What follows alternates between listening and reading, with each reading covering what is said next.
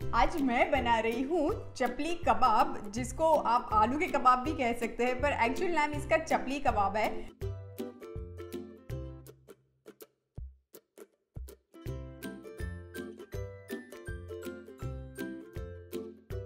जैसे कि आप सब मुझे जानते हैं कि मैं चपली कबाब को भी मेरा ट्विस्ट देने वाली हूँ, क्योंकि नॉर्मल जो चपली कबाब होते हैं, वो कच्चे आलू से बनते हैं और अच्छे खासे ऑयल में वो फ्राई होते हैं, पर हम वो बिल्कुल नहीं करने वाले हैं। इसलिए सबसे पहले मैंने ये जो आलू है, आप देखेंगे तो आलू को मैंने सिर्फ़ दो सिटी आने तक ही उबाला हुआ है।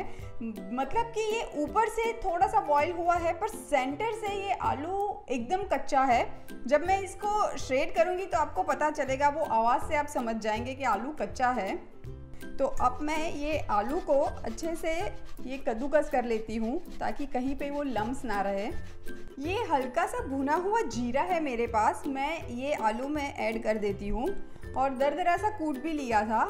और सेम वही दरदरा सा कूटा हुआ मेरे पास साबुत धनिया है, ये भी ऐड कर देते हैं। बहुत ही अच्छा लगता है ये चपली कबाब में। और ये है मेरे पास सूखे हुए आम का पाउडर जो आमचूर बोलते हैं, वो है, आपके पास नहीं है। आप अनारदाना का पाउडर भी यूज़ कर सकते हैं। और अगर कुछ भी नहीं है तो आप चाट मसाला भी यूज़ कर सकते हैं। फिर नमक थोड़ा संभाल के ऐड कीजिएगा। और ये दरदरी सी कूटी हुई मिर्ची है। ये भी सब मैं साथ में ऐड कर देती हूँ। अब मैं इसमें ऐड कर रही हूँ ये फ्रेश वाली मिर्ची। और ये धनिया है, वो भी मैं ऐड कर देती हूँ। अब कई जगहों पे प्याज ऐड करते हैं, कई जगहों पे नहीं ऐड करते हैं। एंड ऑफ़ द डे वो अपने घर के स्वाद के अनुसार हम सारी चीज़ें को थोड़ा सा अप एंड डाउन कर देते हैं। तो मैंने भी प्याज थोड़े से ऐड कर दिए हैं। मेरे घर में वो प्याज वाले आलू के कबाब ज़्यादा पसंद करते हैं।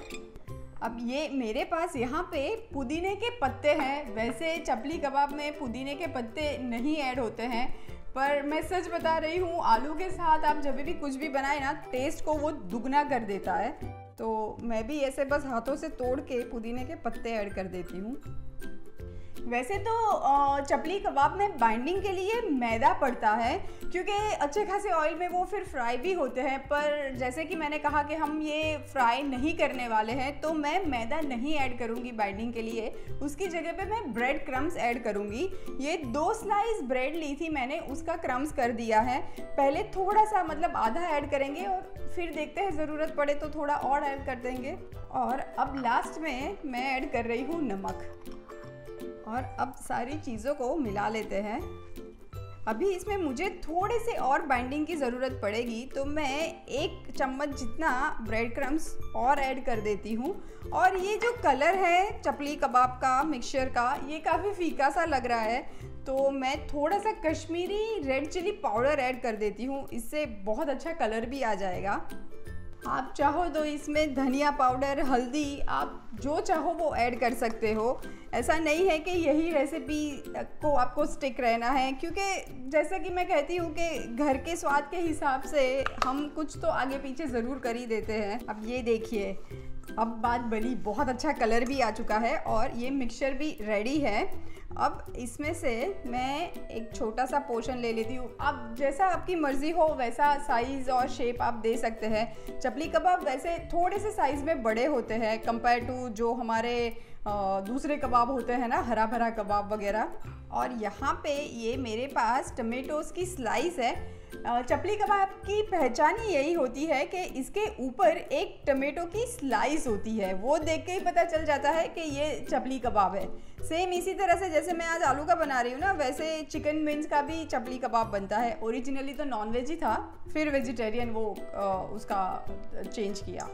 ये चपली कबाब के ऊपर जो टमाटर रखते हैं ना जस्ट मेक श्योर कि वो जो टमाटर हो, वो एकदम ही पका हुआ ओवर राइट ना हो, वरना तवे पे टमाटर पूरा ही वो गल जाता है। तो ये हल्का सा जैसे कच्चा होता है ना येलो वाला, वो वाला टमाटर बेस्ट है। चलिए, सारे कबाब तो रेडी है तेल में फ्राई होने के लिए। तो अब करते हैं चीटिंग वाला फ्राई मतलब कि थोड़े से ही तेल में हम कबाब को फ्राई करेंगे। मैं ऐड करूँगी two two three teaspoon oil अब तेल भी अच्छा खासा गर्म हो चुका है। ये टमाटर वाला साइड जो है, वो हम पहले नीचे रखेंगे और आपका तवा एकदम अच्छे से गर्म होना चाहिए, वरना टमाटर की वजह से कबाब चिपक जाएँगे। अब ये वाले कबाब को तो फ्राई होने में एक साइड पे फाइव टू सेवन मिनट्स लगेंगे, फिर हम पलट देंगे। अगर आप कच्चे आलू से बना रहे हो तो आपको आराम से पकाना पड़ेगा। मतलब एक तरफ़ वो 10 मिनट लगेंगे पकने में, वरना आलू अंदर से कच्चे रह जाएँगे। जब भी आप ये चपली कबाब तेल में ऐड कर रहे हैं तो मैंने जैसे कहा कि टमाटर साइड जो है, वो आपको पहले डालनी है। तो उस समय थोड़ा सा ध्यान रखिएगा, क्योंकि टमाटोज में अच्छा खासा पानी होता है और तेल में डालते ही वो पानी स्प्लैश होता है तो वो गरम गरम हाथों पे छीटे भी आते हैं। तो जस्ट बी केयरफुल। अब ये कबाब को पलटाते हैं। और ये देखिए क्या बढ़िया कलर आया है। और आपका अगर नॉनस्टिक पैन बहुत अच्छा होगा ना तो टमाटर वाली साइड कभी भी नहीं चिपकेगी, वरना कभी कभी वो चिपक जाती है अगर नॉनस्टिक पैन ख़राब हुआ होता है तो। अब देखिए, ये कबाब तो रेडी है फ्राई होके बहुत अच्छे से पक चुके हैं। मैं प्लेट में निकाल लेती हूँ। कबाब तो गर्मा गर्म रेडी है और इसको गर्मा गर्म ही सर्व करते हैं। तो प्लेट में ले लेते हैं फटाफट।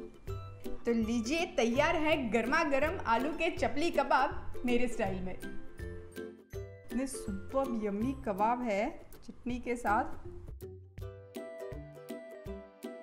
हम्म। ये कबाब के साथ ना, शाम सेट है हम्म।